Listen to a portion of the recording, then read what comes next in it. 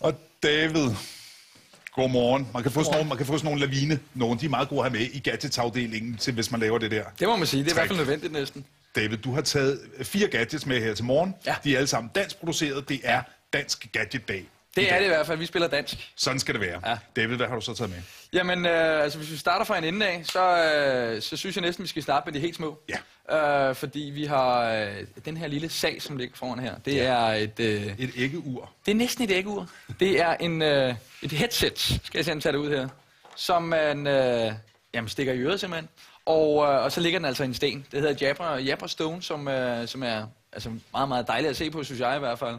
Og, øh, og faktisk meget fornuftigt, fordi at når du har liggende i din bil lang tid, og måske ikke gider bruge det hele tiden, så ligger det bare i sten og kan faktisk holde øh, batteri i flere uger, hvis det skulle være det.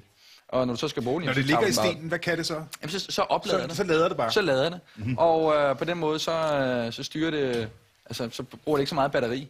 Og øh, fordi det er jo normalt, er det, når du er liggende, så først skal det tændt, og hver gang du sætter dig ind i bilen og sådan noget. Her er det altså bare at sætte det den der, når du så skal bruge det, så tager du ud af stenen, og så kan du sætte det i øret. Kan den noget særligt andet, når det ser lækker ud, eller er det designet, man kører den derfra? Altså, det er mest designet, og øh, så ja, så et headset, så du kan køre uden hænder næsten, skulle jeg til at sige. Ja. Uh, så du ikke bliver generet af mobiltelefonen, ikke? Og dansk design er jo noget af det, vi godt kan lide at sige, vi er rigtig gode til. Ja. Øh, og, og du har taget nogle andre eksempler med også. Det har jeg. Ja, fordi øh, næste år er jeg er helt sikker på, at den her bliver et kæmpe hit. Det er Anti-Sleep Pilots, som er dansk produceret og dansk udvikler det hele. De har brugt tre år på at lave den, og umiddelbart så ligner den jo, ser lidt kedelig ud, vil jeg sige. Men øh, den skal sidde i, øh, instrument, eller på instrumentbrættet, tæt øh, ved din hånd, og nu kan den godt lide at larme. Det fordi, det er sådan en, en god øh, dødemandsknap i sådan set øh, populært sagt. Den skal simpelthen sidde der, og så når, når øh, jeg har sådan sat den inde, afhængig af hvor, hvor træt jeg er, så kan jeg sådan sætte den her og sige, at jeg, jeg føler mig lidt træt, jeg har haft en lang dag på arbejde, eller jeg har været tidligere oppe og været i Godmorgen Danmark. Jamen, så kan jeg sådan sætte det, ah, den skal være højt oppe. Og hvad gør den så? Så sætter den der, og så, så laver den sådan nogle opmærksomhedstest. En gang så blinker den, så, så larmer den. Øh, og så skal jeg nå at trykke på den. Afhængig af, hvor hurtigt jeg trykker på den, så beregner den min, øh, min, sådan, min træthed, og hvor, hvor meget den øh, altså, siger, efter et stykke tid, nu skal du sætte stanse, nu skal du til at holde en pause, og, øh, og den holder også styr på mine pauser. Så når jeg holdt en halv times pause, og 10 minutter er nok næsten, så siger den, nu må du godt køre igen. Det er simpelthen den, der sørger for, at man ikke falder i søvn bag rattet. Det er en fuldstændig, som den hedder, anti-sleep pilot. Du falder ikke i søvn, så det er, at den sørger for, at du ikke lige, lige præcis falder hen, eller går i stave eller noget, men du har hele tiden opmærksomhed på vejen foran dig. Det øh, synes jeg er en super lækker ting. Og så er der musik. Så er der musik lige præcis, fordi Og der har du taget det der øh, krassebræt med. Øhm, det er kattens kra- krassebræt. Det er øh, Libreton Beats, som, øh, som jeg selv er blevet øh, ellevild med, fordi øh, det er altså dansk design, der vil noget anderledes. Og det er altså, det er det cashmere det er Kashmir. Det er det nemlig. Man kan også få det almindelige uld, men øh, er jo alligevel lidt lækre at se på. Og øh, hvis man kan se bort fra måske lidt øh, kaffekande-look også. Ja, det kunne godt ligne en stor elkedel, Ja, ikke? der sidder altså sådan en stor håndtag om, ikke lige? Men det er det altså ikke. Uh, skal jeg lige prøve at se, om jeg kan spille lidt her. Jeg gør lige det. Og det er altså... Den, er, den har sådan det, der hedder full room.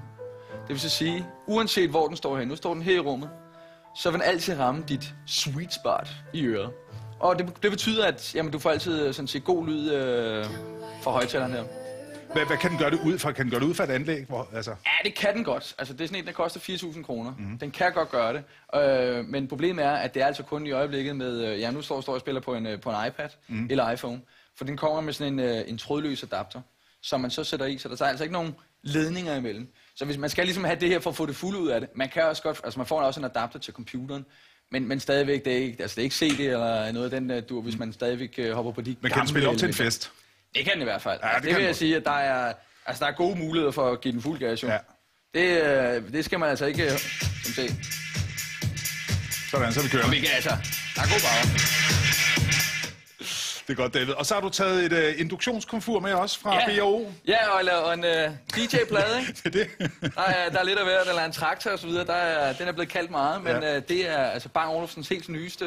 Uh, ja, designperle, vil ja. du selv kalde det. Ja, den er flot. Ja, den er, jeg synes, jo, den er, den er ganske fin, og, øh, og jeg kan egentlig også godt lide, at øh, vi begynder at komme ned i en pris, hvor flere kan være med. Den koster under til 8.000 kroner, og det er altså... Er den pengene værd? Jeg vil sige, det er stadig en iPod dock. Øh, der er mulighed for at sætte andre elementer, altså andre MP3-afspillere og noget til, men, men, men der, hvor den ligesom gør sig bedst, jamen det er, hvis du sætter en iPod eller iPad øh, pa- pad i. Ikke? Og øh, lyden er også helt fornuftig, hvis man hvis den gad at spille. Det gad den lige før. Og David, mens vi står og, og, og piller lidt ved knappen, den kan spille. Den kan spille, den Vi ved den lige det, og den kan spille højt, og den Ja. kan spille godt. Tak for at give os et øh, bud på fire gode danske design. Katrine, fortæl os lidt om, hvad der kommer efter nyhederne. Jamen, der kommer blandt andet